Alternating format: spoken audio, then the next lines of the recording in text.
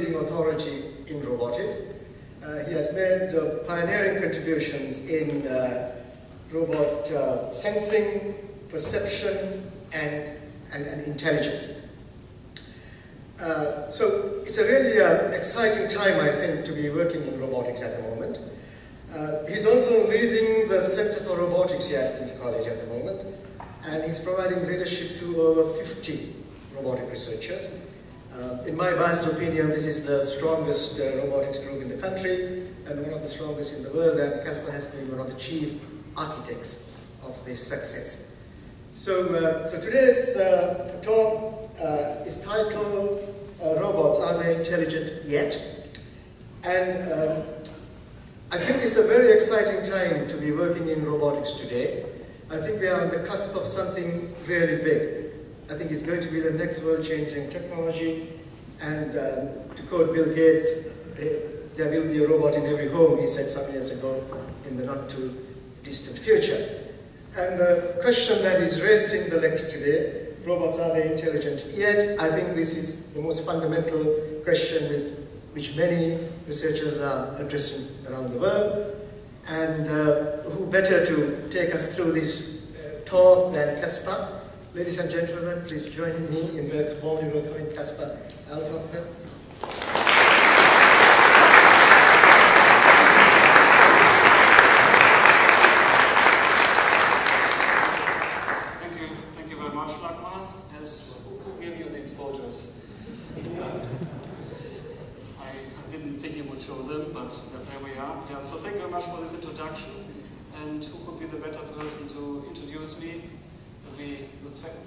thinking that we have been working together for so many years. So you write there 17 years at King's, but actually I've been at King's for 21 years. I did my PhD here, as you said earlier. So thank you very much for this, and also thanks for coming back to join us again at King's to, to work with us in the robotics group. Good afternoon, everyone. Thank you very much for coming.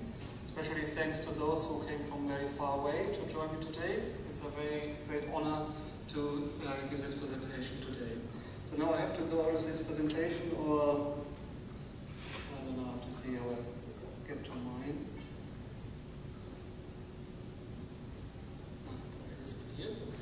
Good. Okay, yes, as Lakmal said, so my presentation will be about robots and their intelligence.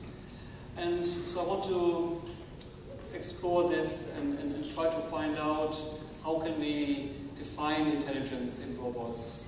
What, what are ways of, of understanding whether a robot is intelligent? How does it compare to human intelligence? How does it compare to intelligence in animals? So I want to, to look at different aspects of it um, and see um, what different definitions there are, ways found by researchers to actually define this kind of intelligence. So I have a number of uh, topics here I want to touch upon. So not necessarily all straightly connected to each other. So I want to, to move around a bit and, and, and stretch maybe this idea of robotics intelligence a bit. Also to, to kind of see where I can incorporate my research into this um, large area of robotics intelligence. And I know that there are many AI researchers here in the audience, and um, they might have a, a, different view. So I want to present my view on what um, I see as robotics intelligence and what I have uh, experienced over the last 20 years or so. Um, yeah, let's let's go in. Let's see uh, how it goes.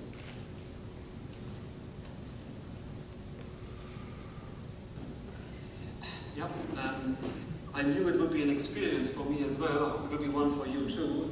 I hope for you a pleasant one. Uh, in my case, I'm not too sure yet. We have three, three, three projectors, and I have three, two additional um, laptops operated by my colleagues. Let's see how we can go through this. Anyway, so a, um, a kind of definition of what a robot is from 1979, so quite a while ago, and very simple. So really seeing it as a system that can be programmed to carry out certain tasks. Now, Lakmal introduced me earlier, and I remember quite a while ago we were kind of trying to, to define for ourselves what, what is a robot, what, what are the essential bits of a robot.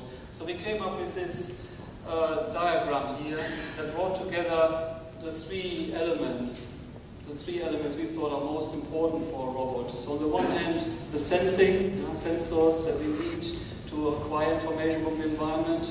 And on the other hand, actuators or motors, so that the system can do something in the environment or something even with the environment.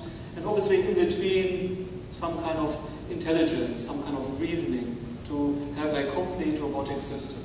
So very much in line with the, the idea of embodiment, and I will talk a bit about this, a bit more about this in a minute. But first I want to step away from this a bit and, and look at science fiction, science versus fiction.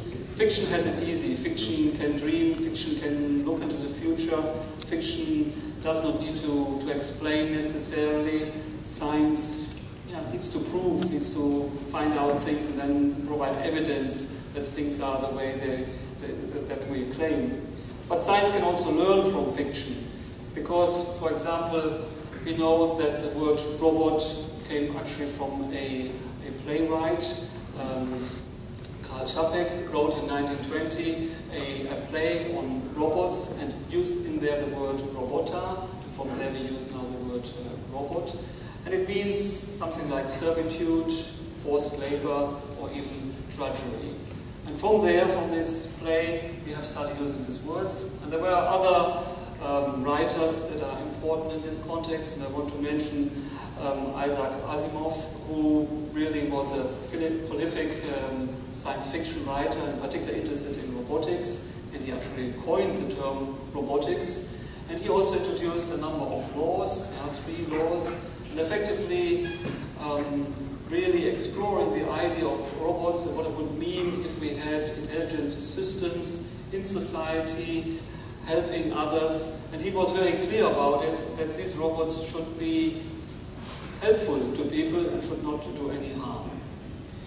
And so he developed, um, yeah, he wrote these books. You know, one of them is I, Robot, and that was also turned into a film. What I found very interesting about is this kind of mass production of robots. So robots are really produced at the conveyor belt, and then they are sold to, to, to people, and they can use them as, uh, as, uh, as workers in the home, and they are inside society, they help with mundane tasks, and, and, and they, they do their job and they, they kind of cohabit with, with, with, uh, with, uh, with humanities until one day things go wrong and, uh, and, and, they become suddenly very nasty towards um, humans and only one person, Will Smith in this case, can save the world he is. But let's move on. Um, another film that really also excited me very much about this um, idea of, of robots is um, artificial intelligence, AI. So it's a um, movie by Steven Spielberg and uh, was uh, originally kind of conceived by Stanley Kubrick. And in there are robotic devices, robotic systems that look like humans. Again, they live together with humans. They they have very many human attributes, and it's, it's actually very difficult to distinguish them from humans, but they have also their limitations. I stay a bit with this movie because I wanted to also introduce this toy that is shown here, so this teddy bear, um, which kind of seemed actually the most intelligent uh, being in the whole film. And um, it, is, it is very, very nicely animated. It, it has a really a, a lifelike feature. It is, is, is, is clever. It can communicate with, uh, with the humans. And you, you get the feeling, okay, yeah, that is really a super toy. It can do that. But then if you look behind the, the scenes, then you can see how it is done, how it has been created. And you can see it is really only a puppet. So only a puppet yeah, held by strings or levers and moved around and moved in such a clever way that we get the impression it is actually, there is, there's life in there, there is intelligence in there. So that's, that's I think, is a, is yeah, one we should keep in mind. We can be possibly fooled when we see intelligent systems that we believe that they are of an intelligence that is comparable to, to human intelligence. Just one more um, movie I would like to, to, to quickly show. I suppose everyone knows about the Terminator movies. So here we have a more negative view of things. Yeah? So the, these robotic devices um, kind of reproduce themselves. They, they take over the world and uh, are against all humanity and try to destroy it. So that, that is a, another view. Um, yeah, let's move forward uh, in, in the presentation.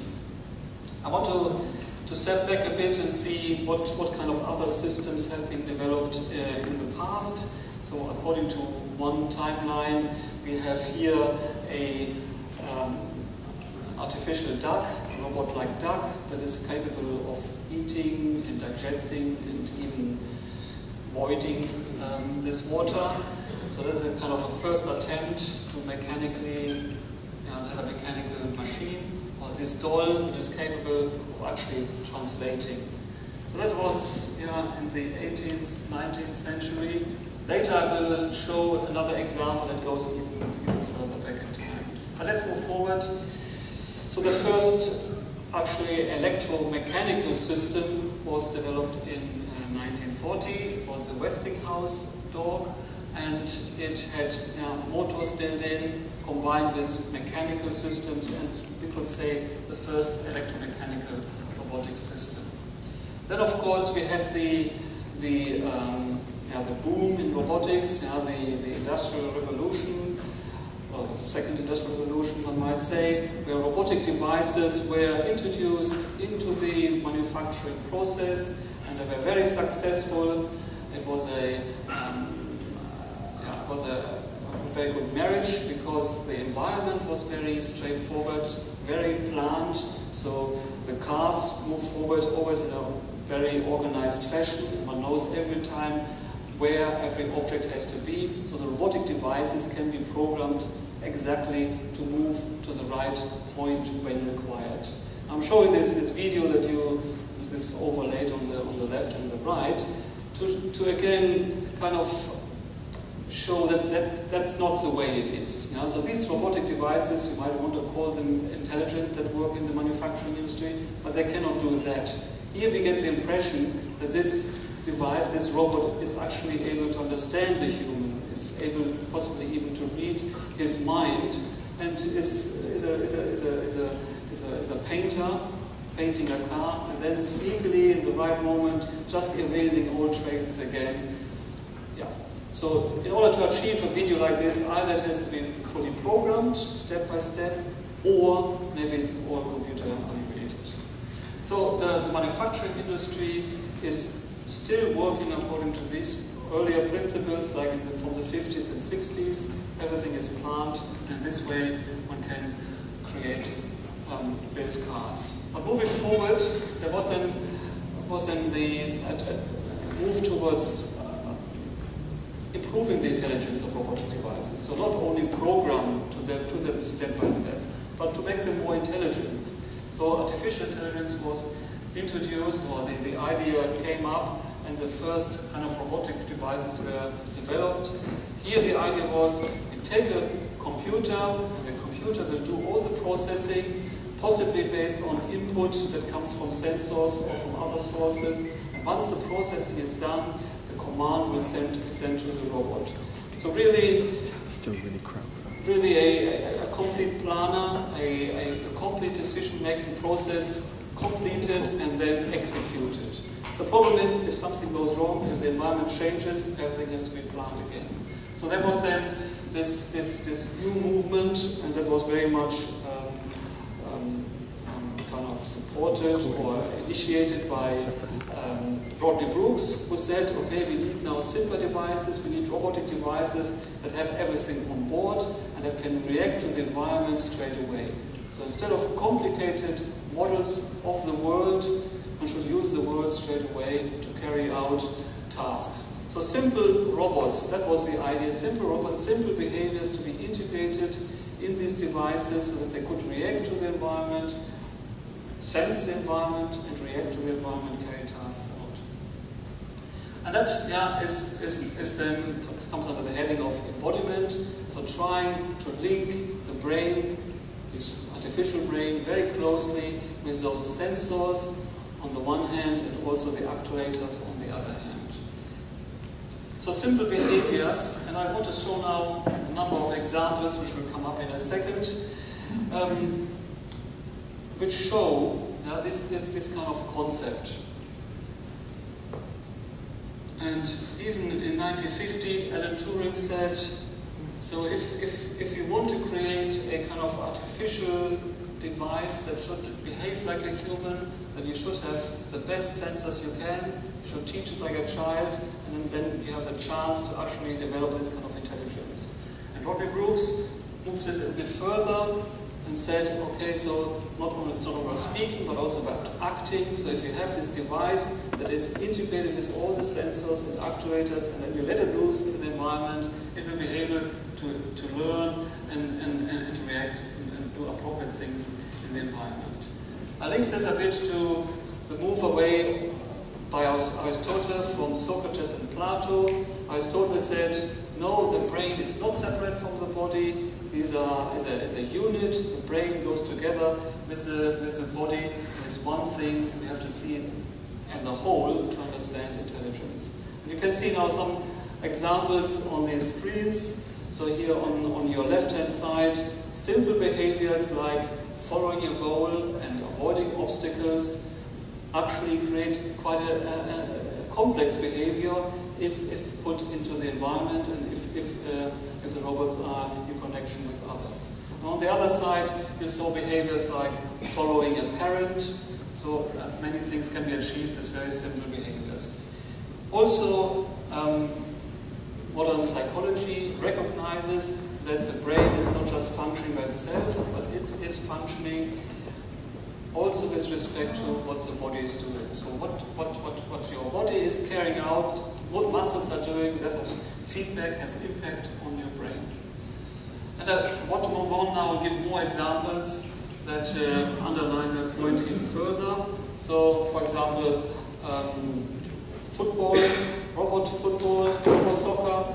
So you can see here these robotic devices, they have simple behaviors built in, behaviors that are appropriate for football, so they have to defend, they have to, to attack, and they do sometimes very strange things, so now they are just blocking each other, but it is appropriate in the environment because they keep the, the, the, the attacker away from the goal. Sometimes they have strange spinning maneuvers and you think what, what will this help, but occasionally it happens that the ball comes towards them and is then moved forward into the goal.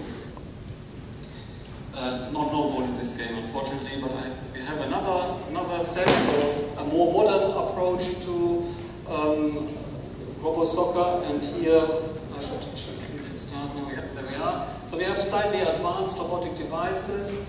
they have slightly advanced behaviors, and they have also a leg now that they can use to actually shoot the ball, and very easily can score. I think in the first few um, sequences, the few goals are achieved very quickly, and you wonder what the goalkeeper is doing. But a bit later, I think he wakes up and he's actually quite good in defending, as we can see here.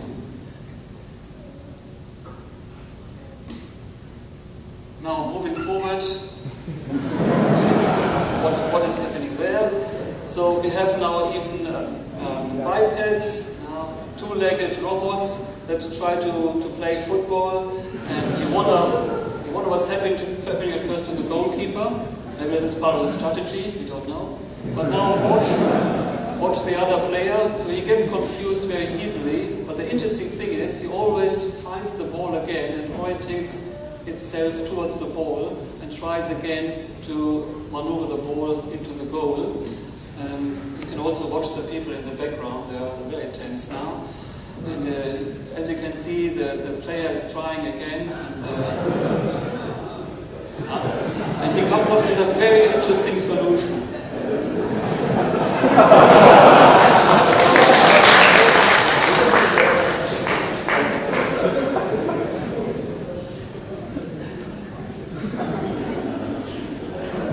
Okay, so now I have the opportunity also to, to step back a bit um, to work that I have done here at King's actually 15 years ago, so this was part of my PhD.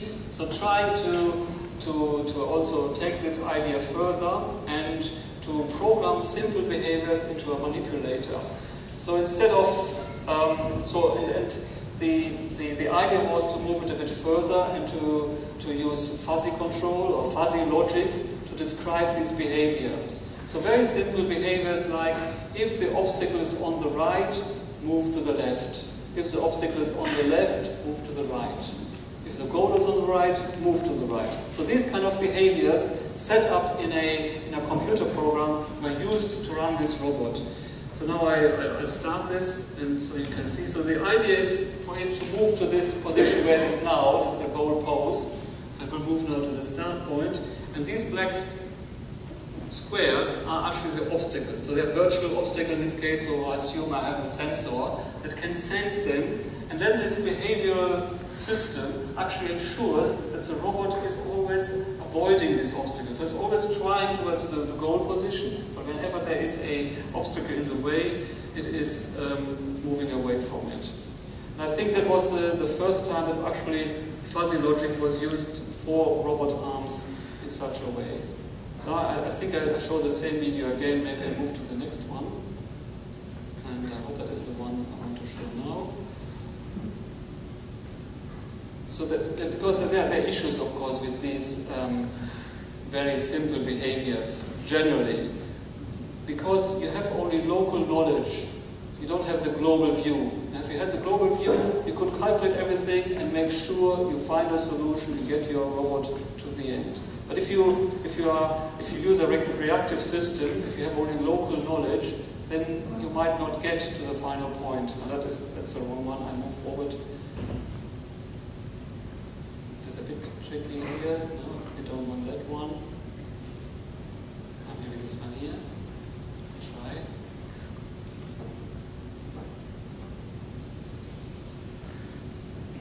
I don't want to press it too often frantically because then oh, that's the one. So now I want to reach to the top point. Yeah, you saw it, the robot arms to go to the top. I was moving there, so the goal position is trying to go to get, get to the goal position. First link is managing to go there, but the second link now wants to go there, but is at the same time repelled by this obstacle here. So it is kind of frozen in this constant kind of movement, constant trying.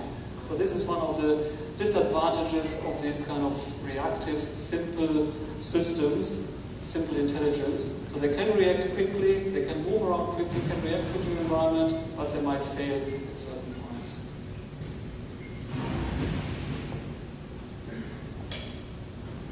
I take my time. I come back to this to this picture again. So yeah, so that is kind of our view, this embodied view of the robotic system. And so I want to now look a bit more into the, the sensing side and also in the acting side. And uh, start with sensing and perception at first. So we have worked quite a bit at King's on this uh, in this area. So we have developed a number of, of force sensors. So we were interested in, in sensing pressure and forces. We have applied this to medical robotics quite a bit. As you can see here on, on your right hand side, one of these implementations, a prototype there.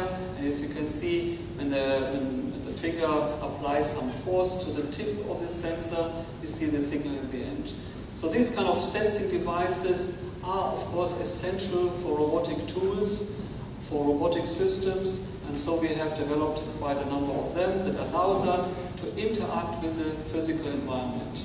We have, as I said, developed a number of different sensing systems, and here on the right-hand side is now a sensor which is more complex. It can actually measure forces applied in different directions.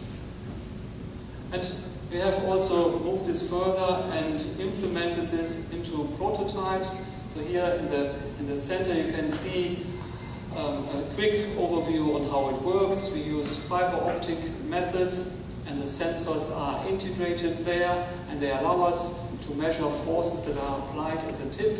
And we have used this inside of um, um, catheters that can be used in medical operations, for example, in, in a cardiac catheter. And as you can see, the, the, the, input is given by a force, and we can see the result, we have a signal on the screen.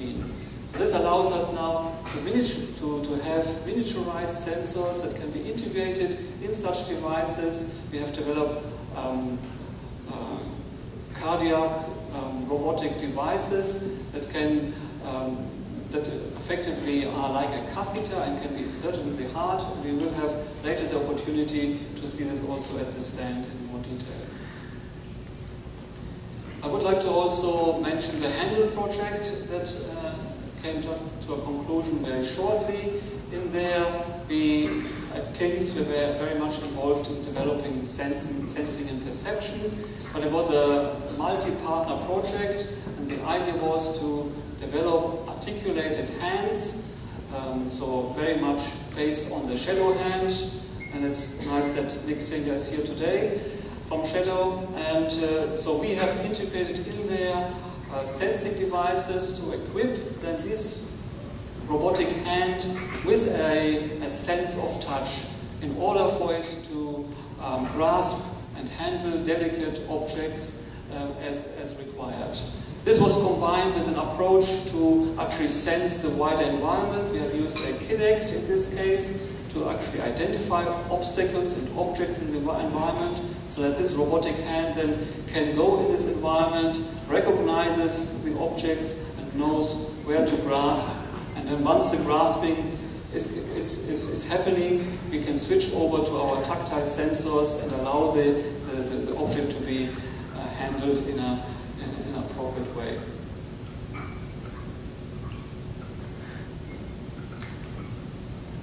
Brings me now over to intelligent mechanisms. Yeah, so I looked at the sensing and perception side. I move over to mechanisms. So these, these are these things that are attached to the, to the robot, the, the legs, if you want, or the hands, to operate in different environments. So I have uh, looked at a number of points there, locomotion, articulated hands, and uh, work um, very much happening here at King's, metamorphism, I would like to um, mention in this context as well. But at first, looking at some walk so we have here the Honda system, which is, uh, was introduced quite a while ago, and uh, although it does the job quite good, it, it, it, needs to be on fairly kind of flat ground and, and it's not so happy with stairs, for example. But on the other hand, we have here a, a more modern system on the other side. Um, so that is then Boston Dynamics, yeah, this fits. So here we have a system that is, is dynamically very stable. It can very nicely interact with the environment, automatically adapt to the environment, and even manage to climb stairs very nicely. So always these robots are on a harness, but usually they are, this harness is only there to to, to, to, to hold it if it should fall. They can stand by themselves and can operate in rough environment. So quite an improvement, and you can see here now on, on, the, on your left-hand side the European answer to the uh, uh, to, to systems that have been developed in the States. On the other side here by Boston Dynamics, and you can see how stable they are dynamically. You can even pick them, and they, they might even walk over, over ice, and still they can catch you know, their step again and very easily come up again, even if, if, it's, if it's really very difficult to, to, to get a hold. So quite an advancement and quite some intelligence in this mechanism and the whole control architecture to keep the system uh, going and be able to adapt to environments that can be extremely harsh. Um, I, I, think another, another nice example for an intelligent mechanism, and that is a system that I saw for the first time around 10 years ago. So the video on the left is a video I've taken um, at a conference. Uh, I, th I think it was in Lausanne, if I'm not mistaken. Um, and so this is now a wheeled robot, but it's not just wheels attached to the platform. As you can see now, the robot will be actually able to climb steps that are bigger than, uh, higher than it, it is itself. Okay, so the video stopped at this point. So maybe we can video. Uh, so there's, there's a good example now. So the system can actually fold around the steps, so in an intelligent way overcome the steps. And the, the operator is just using a joystick to move it forward. But the operator does not need to care about you know, adjusting the legs. That will happen automatically. A pity that this one doesn't come. No, it doesn't. Let's, let's hope the next video comes because that is now work done by my colleague Professor Jian Dai. So he's working also on very intelligent mechanisms. One of them is the, the, the metamorphic hand he has created and it can operate more or less like a human hand. But in addition, it can fold. So it can be moved into other um, states or into other configurations and could be, for example, used in a, in a medical uh, context where you maybe want to fold a hand, insert it into a patient, unfold it again, and then carry out the, the required operation.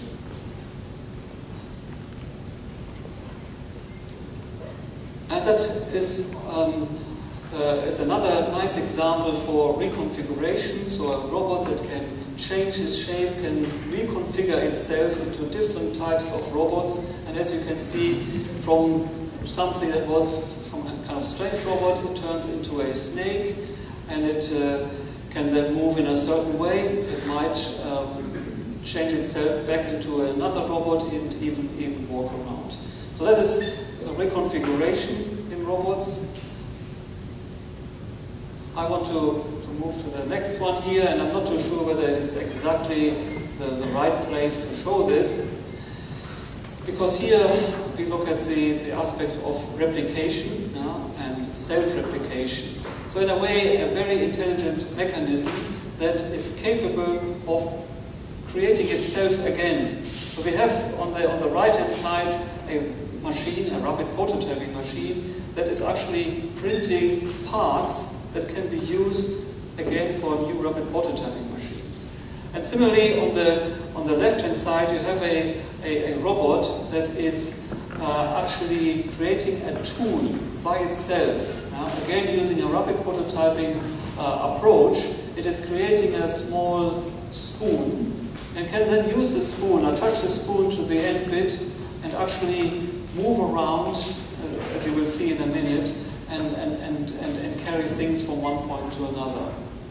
So it's capable of extending itself. So the, the, the, the, interesting thing is to, to, to, to explore the idea of robots that can either extend themselves or even replicate themselves and uh, yeah, reproduce themselves if you want. Yeah, so as you can see here, the robot is now picking the water from one side and bringing it to the other side. It has created a tool by itself.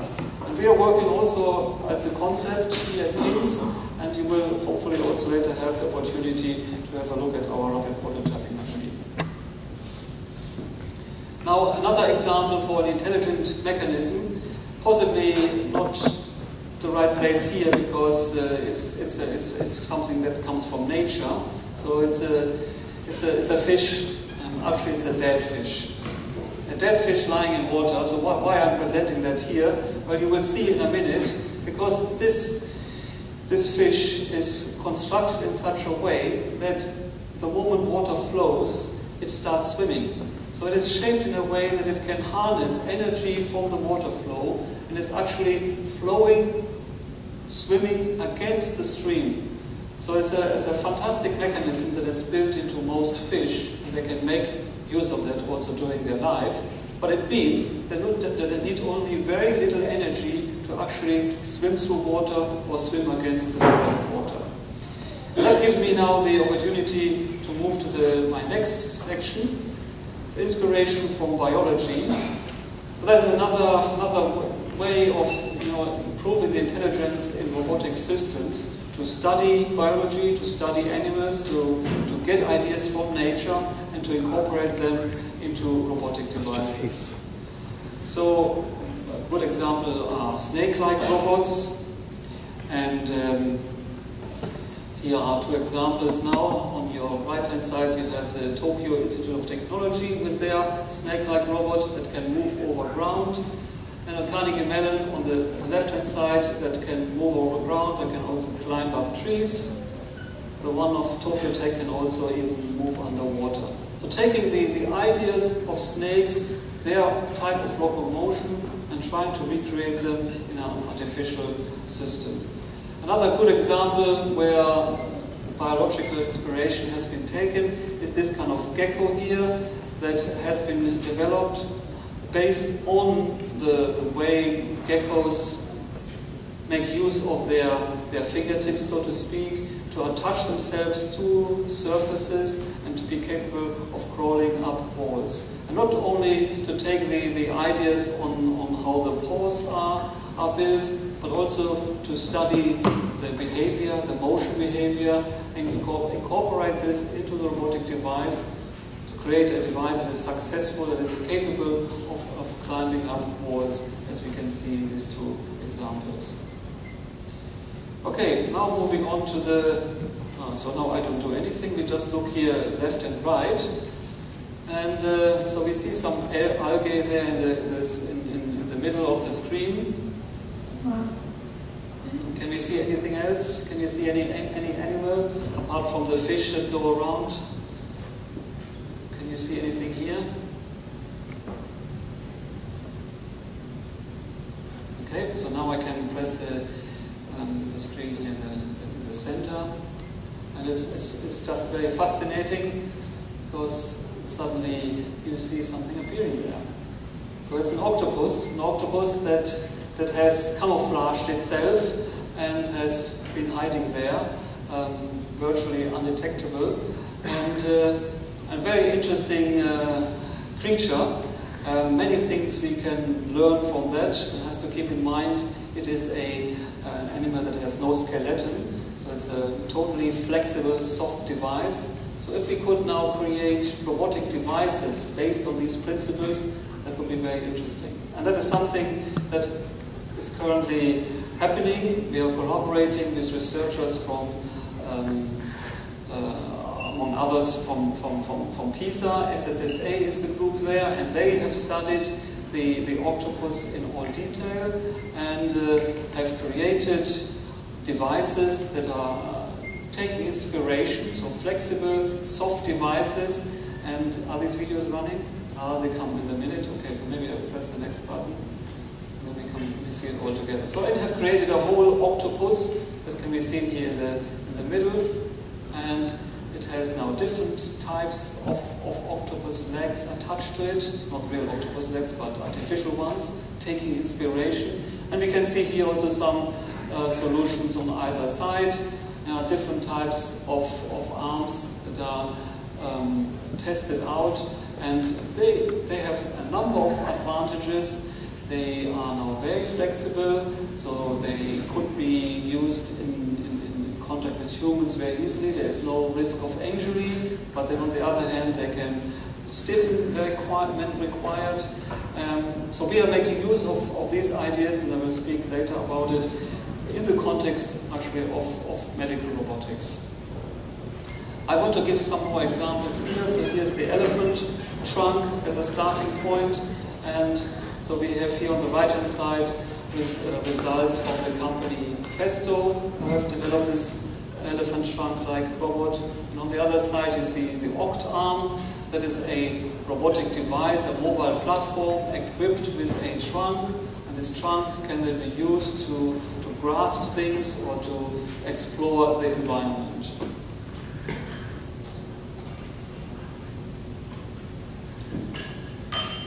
I'm not, I'm not talking too much today about uh, um, vehicles that go in the air, but I want to give one example here. It looks very impressive, I think. It looks very much like a bird, but it's not a bird. It's actually a robotic device. So this is a device developed by the company Festo. They have studied the bird, studied the behavior of a bird in air, and have tried to uh, incorporate the main features into their robotic device, which can be used now as a reconnaissance robot, for example. Okay, so with, with, with the embodiment, the idea of embodiment, systems, simple systems were created that were operating maybe also in, in simple environments. So you, you had uh, sensors that sensed something and then some reaction was, was required. However, if we go a step further and try now to, to bring a human in contact with a, sorry, or a robot, a robot in contact with a human, then maybe things become um, more complicated. Yeah, so the idea now of creating um, robotic devices that can um, operate together with humans in a reasonable way is another interesting research area and of course has many challenges. So I start back at, at kind of a few years back, the beginnings, uh, that is on, on the left hand side, so a simple robot that had some capability of communicating with humans. It could be used in, in museums to guide people from one place to another. On the right hand side you see a, a more, more modern version.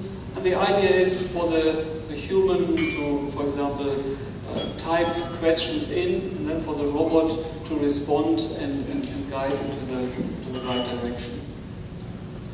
There have been a number of developments um, and so this is a kind of an earlier system which I saw, I think it was also 2002, um, and I, I, I, took a video of it. So here the idea is for the robot to somehow interact and to, to, to, to respond to the person, but, but, but very simple, yeah? so it's, it's, it's not clear where, where the, the system is looking to. So there have been quite some advances over time. I want to talk about a, a few that um, have been developed. So maybe at first on the left-hand side is Inca. So this is our robot here at King's. So that's the King's receptionist. And Inca is female, so I can say her in this case. At least that's what the, the constructor said, yeah, the inventor uh, is a female robot. Why they had this idea. But this robot has now cameras built in, so it, it can recognize the movements of the person and one can again communicate through a, a keyboard and one receives an answer from the, from the, from the system. Here on the, on the right hand side is Kismet, which is from Massachusetts Institute of Technology, or MIT for short. And so here the idea is to, to move forward a bit and, and try to understand the, the expressions of people and to mimic them in a robotic device. Know, so as you can see, the system is very, you know, can express different emotions, can, can really follow the person, and you can create this interaction very nicely between the human and the, and the robot. But yeah, moving further on that, and uh, maybe I stop the one in the middle for just a second. So we have here on the right hand side we have Einstein, and on the left hand side a fantastic um, child robot which creates fantastic uh, kind of expressions in their fa its face. So really a, a, a move forward to, to, to, to achieve something that becomes more and more human-like and really capable of showing surprise, fear, joy, uh, sadness, etc. And also, same, same group, the Hanson Robotics, have developed this robot here, which really looks like, like a human. And this video you can find on YouTube as well. And you, you, you have the impression the robot is really communicating with this person. Now there's really a dialogue, and the, the reporter is extremely happy by the, from, from the answers, and it seems really there is a dialogue between the two. Now the, the question is, is that intelligence? or is this just, again, another program sitting inside this robotic device that, true, looks very human, but is this device now really thinking, or are we just getting the, the impression that this device is thinking like a, like a human? Moving away a bit from it, another type of robots, um, uh, Sony AIBO and a, a, similar version which is um, more recent. This one on the left hand side is also 10, 11 years ago, uh, already quite advanced. So a toy robot, a robot again for the interaction with a human. The idea is to, um, to, to instill behavior that you can find in dogs. So it is it's operating, it's kind of behaving in a funny way sometimes. It, it tries certain things. If it doesn't work, it just lets go. Or it, looks in a strange way at the ball, like exploring it. So a number of behaviors integrated there is a reason uh, to create some communication with, uh, with humans. Um, and I mentioned shortly, this robot is a Nao robot. Uh, again, a toy robot that can be used for communication with humans. Um, it, can, it can dance, it can play music, different things. But I move forward now to another one, which I find quite interesting. And it has my name so I really have to mention it. So it's Kaspar from Hertfordshire. And so it is, it is a very simple robot, and um, I understand it is deliberately simple because it is used to help autistic children. And they, don't, they, they got confused by complicated kind of emotional expressions in the face. So a simple face which can show and, and, and express simple, simple emotions in, in their faces. And it, it, it's also a step further compared to the other robots because it can also react to you know, tactile input. So that the child is allowed to, to touch it, to um, play with it, and, uh, and it, it will react to it. And so the idea is to use this robot now to really teach the child, to really calm it down, to calm the child down, and to help the child through this kind of process. And when one has a very predictable way of doing it, we can program the robot to react really as needed for a certain situation for the child to learn something. So here's not so much about are we fooled by the intelligence, but it's really using these kind of concepts uh, to, to improve interaction between robots and humans. Obviously, I have to mention also the Darwin project, where King's is also involved. And is there somewhere?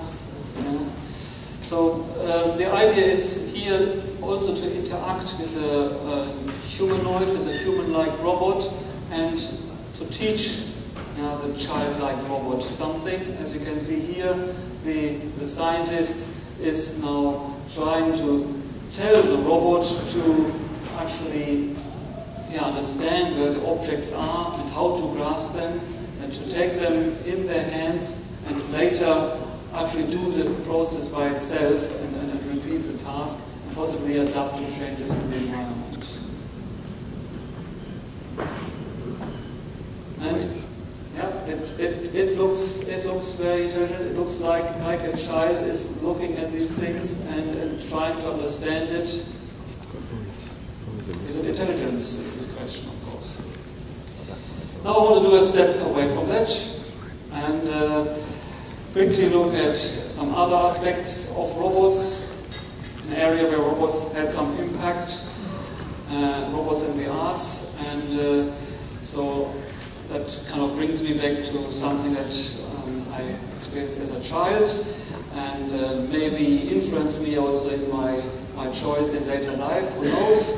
So thanks to, to my parents, I was exposed to Uh, an artist called Jean Tinguely, who was creating crazy machines, know, machines that kind of moved around in a, in a crazy way, in a very noisy way. My father told me, I have forgotten about that, that we actually destroyed one of the machines. So we went to this museum, usually you go to the museum, it's just pictures, it's boring. But suddenly you go there and you can press a button and something is moving, is making a noise. So we did it all the time, pressing the button until it was broken. Um, but nobody complained because at least it was quiet afterwards. Anyway, so these are robotic devices in my eyes, and they're used in, in art um, to show movement and also self-destruction. Um, but I was also very pleased to be part of a, of a, of a robotic art um, uh, exhibition. Um, Ruairi Glynn from UCL organized uh, and created Fearful Symmetry, which is a huge Delta robot that is was mounted in Tate Modern, in the new parts of Tate Modern, and it moved around over the over the um, over the, the, the, guests, the visitors, and followed them around. So effectively trying to, to show like a, Uh, a higher intelligence that is hovering over the people, understands them, and follows them around. So I was very happy to be part of this one.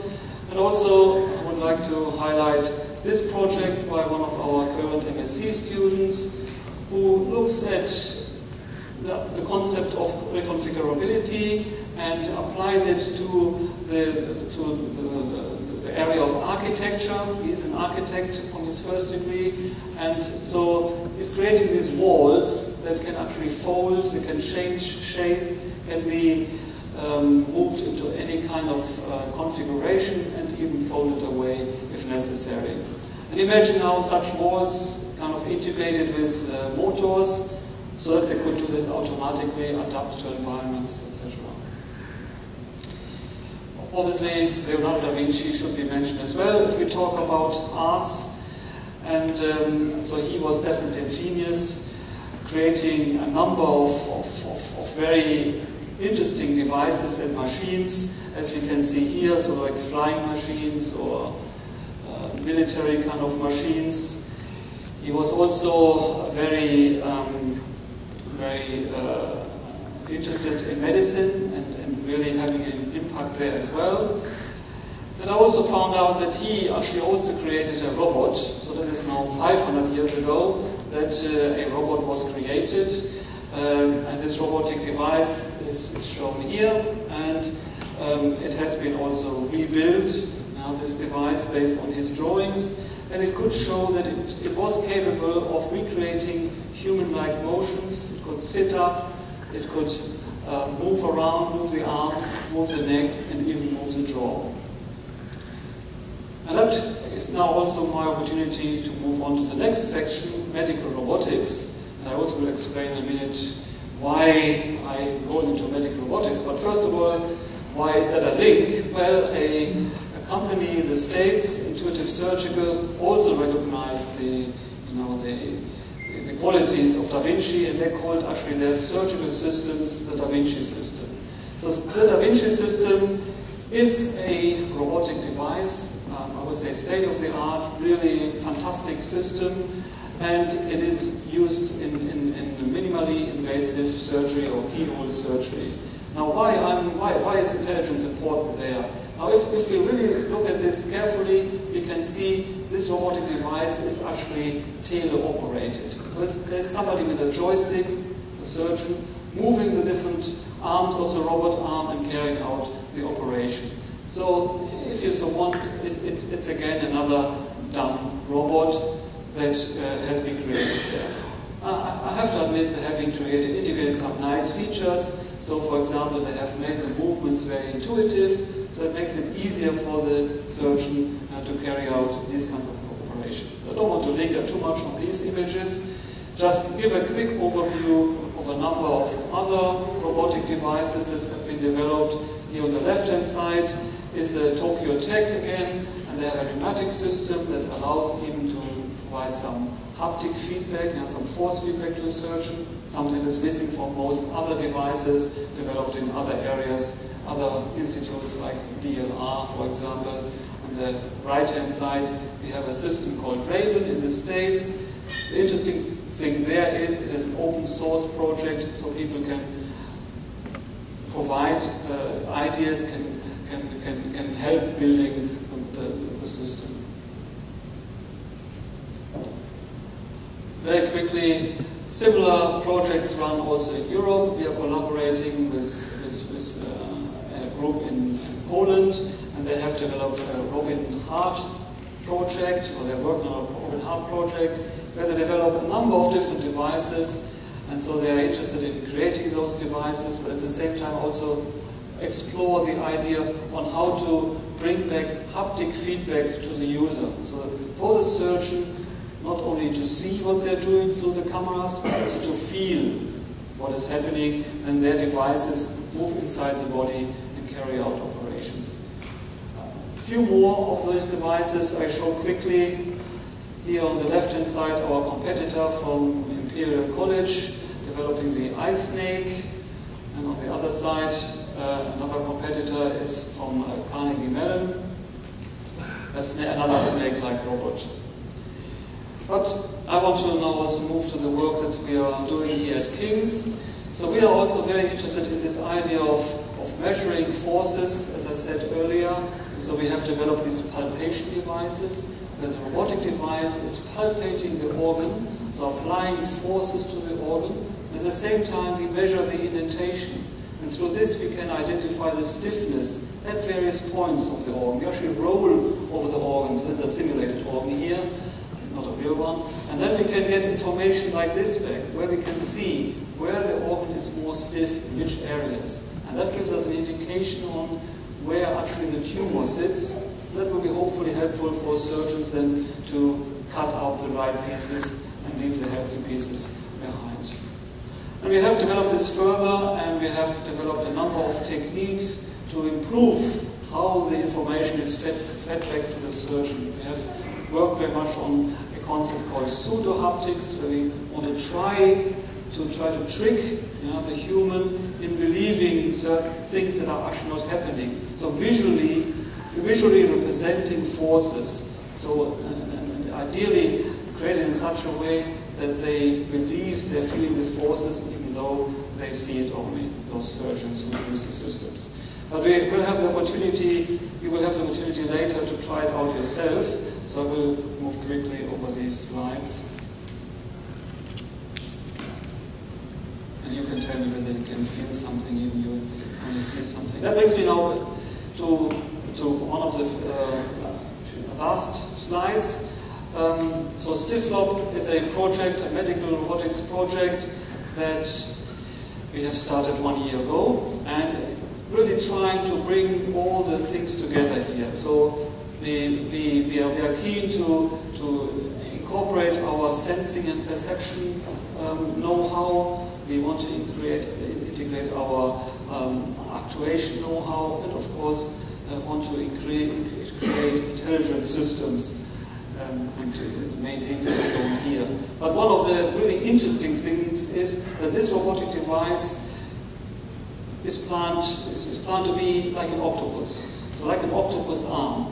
So not a rigid device, a rigid robot arm like the ones we have seen beforehand at, at other places, but really, ideally, a robot arm that can be really squeezed, it can be soft, it can be uh, easily kind of inserted into a patient, and then it can um, stretch out and, and, and, and, be rigid to carry out certain operations. So we are very, very keen by this, of this idea of, of creating this soft robotic device and integrating in there our sensing uh, methods and also uh, certain intelligence to carry out operations um, autonomously. So here, here we have one of our sensors. Yeah, so there's a stiffness sensor that can be integrated, be integrated with this kind of robotic soft arm to measure actually how stiff it is at points.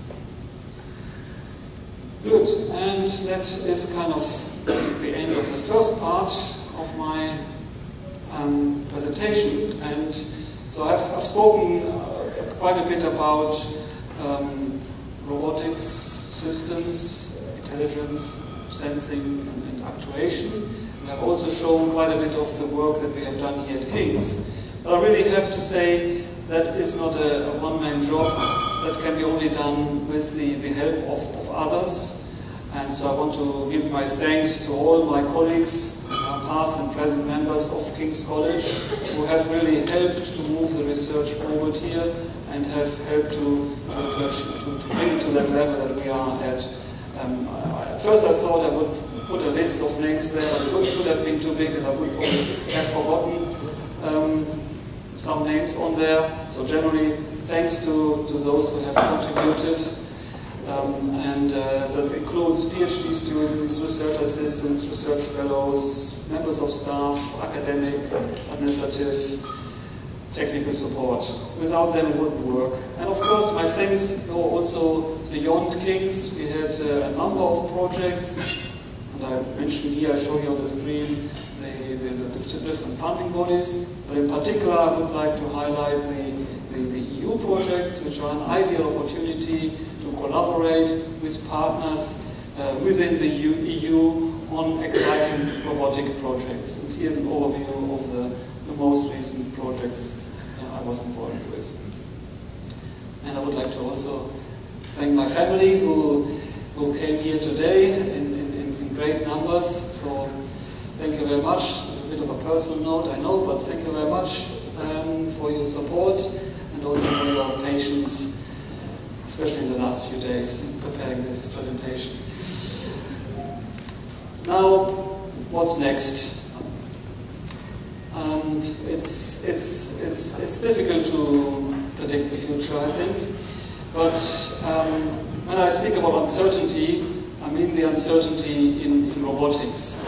So we're looking at very dynamic and uncertain environments, and that will be will continue to be really an issue people want to look into. Yeah? So not the structured manufacturing environment where everything is planned, but environments where things are moving, where things are not clear to start with, possibly where we use robots that don't have a complete view of everything, so kind of sensor noise might be in the way, etc.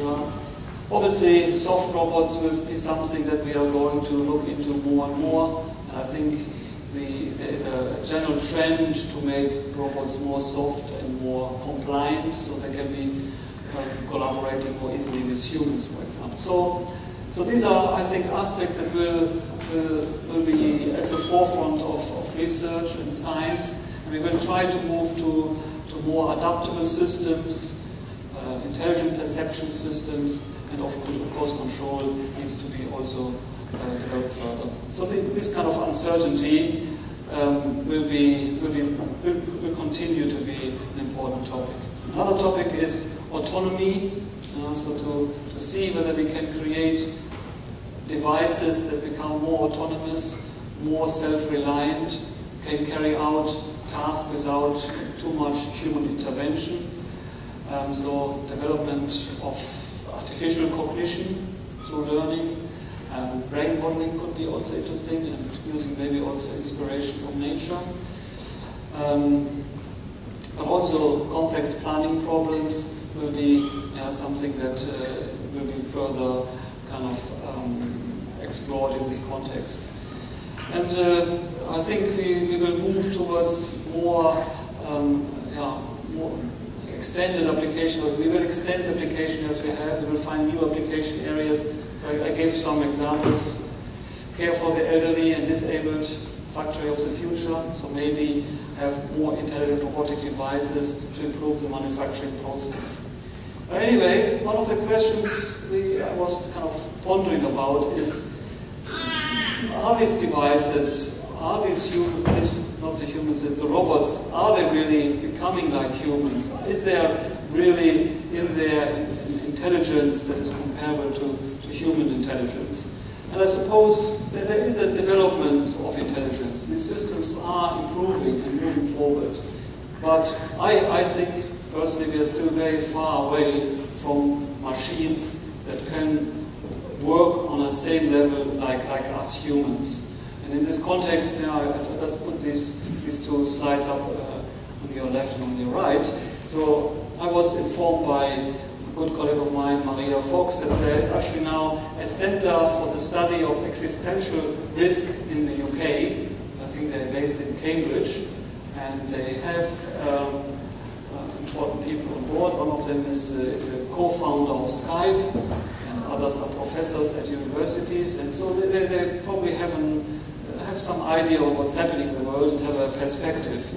So they believe that robotic devices one day will, you know, will be a threat to humanity. So it's like the Terminator style kind of thing which I have shown earlier. Yeah, that is the, on the one side. On the other side, I put here something that Dagmar mentioned earlier in his speech. So Bill Gates says that in the future, um, every household will have one robot, and there will be a similar revolution like we had it with the with, with computers and internet. So I'm not necessarily a fan of, of Bill Gates, and we have suffered a lot today trying to prepare this presentation. We used Microsoft Windows, yes we did, but we managed in the end. So uh, anyway, I think he, he, he, has a view for business. So I think I think I think we will, will move in this direction. Not too sure about this one on the other side there. Thank you very much.